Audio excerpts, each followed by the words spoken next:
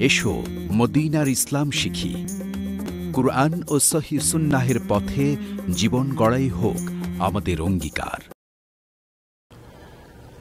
আসসালামু আলাইকুম রহমতুল্লাহ আবরাকাত সুপ্রিয় বন্ধুগণ, গুরুত্বপূর্ণ একটি মাস আলা সেটি হলো, কোন সুন্নত নামাজ কি কাজা করা যায়? ছুটে গেছে যে কোনো কারণে।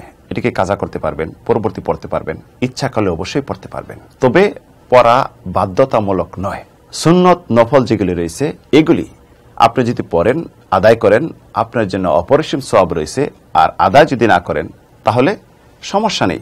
তবে যদি একদম ছেড়ে দেন, তাহলে অবশ্যই আপনি গুণাগার বিশেষ করে পাঁচ অক্ত নামাজের মাঝে।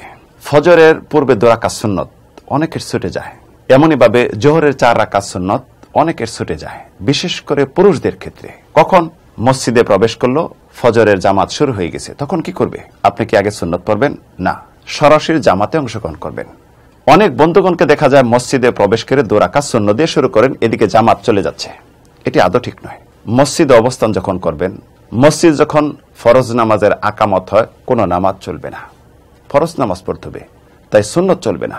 ফজরের হোক, জোহরের হোক, যে কোনো সুন্নত হোক। ফজরের সুন্নত অত্যন্ত গুরুত্বপূর্ণ, যেটি রাসালাম কখনো ছাড়তেন না, যেটি মা এসারাদিন হাদিস বুখারি মুসলিম হাদিসে বর্ণিত হয়েছে। রাসালাম সফর অবস্থা পড়েছেন এবং এর দোরাকাতের ফজিলত অপরিসীম ফজিলত। রাসালাম বলছেন রাকা আতাল ফজরে খাইরুমিনা দুনিয়া ও মাফিহা ফজরের দোরাকাত সুন্নত, দুনিয়া এবং দুনিয়াতে যা আছে, পৃথিবীর সব কিছু উত্তম।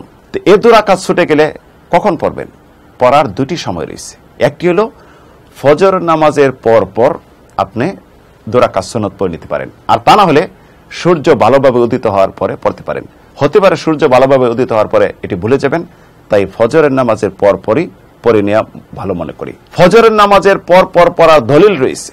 কাইসিবনে আমর রাদিরা থেকে বর্ণিত যে হাদিসটি আবু দাউদ্দির মিজে বর্ণনা করেছেন। কাইসিবনে আমর বলেন, আমি রাসালামের সাথে ফজরের নামাজ আদায় করলাম। রাসালাম যখন ফিরে গেলেন, তখন আমি ফজরের পর দোরাকাত নামাজ পড়তে শুরু করলাম। রাসালাম বললেন, কি ব্যাপার? তুমি এক নামাজ দুইবার কেন পড়তেছ? তখন কাইসিবনে আমর বলেন, আমি বললাম, ফজরের দোরাকাত সুন্নত আমি পড়িনি, এটি এখন পড়তেছি। রসালাম বললেন, ঠিক আছে। আবুদাদের অন্য বর্ণা রয়েছে রসালাম কিছু বললেন না। মানে কি? এটি পড়া জায়েজ রয়েছে। যে হাদিসে আলমা নাসিরুদ্দিন আলবানি সহি বলেছেন, এটি গেল ফজরের। জোহরের চার রাকাত অনেকের ছুটে যায়। জামাত দাঁড়িয়ে গিয়েছে ইমাম তাকবির দিয়ে দিছে। তখন কি করবেন? পড়বেন না। এটি জোহরের পরে পড়তে পারেন। এই ক্ষেত্রে জোহরের পরে যে দোরাকা সুন্নত রয়েছে, এই দোরাকা সুন্নত পড়ার পর পরবর্তীতে চার রাকাত পড়বেন। রসুল সাল্লাহ সাল্লাম জোহরের সুন্নত কাজা করেছেন এর প্রমাণ রয়েছে। ইমাম বুখারি, মুসলিমের হাদিস, উম্মে সালামা রাদিয়ালা থেকে বর্ণিত।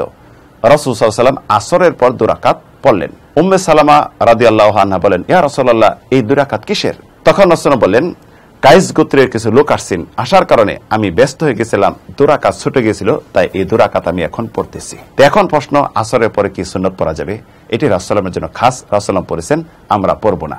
এই হাদিস দ্বারা প্রমাণ যে রাসালাম জোহরের সুন্নত কাজা করেছেন। তাই প্রিয় বন্ধুগণ, যদি কার সুন্নত ছুটে যায়, সুন্নত কাজা করতে পারেন, এটি জায়েজ রয়েছে, এতে কোনো সমস্যা নেই।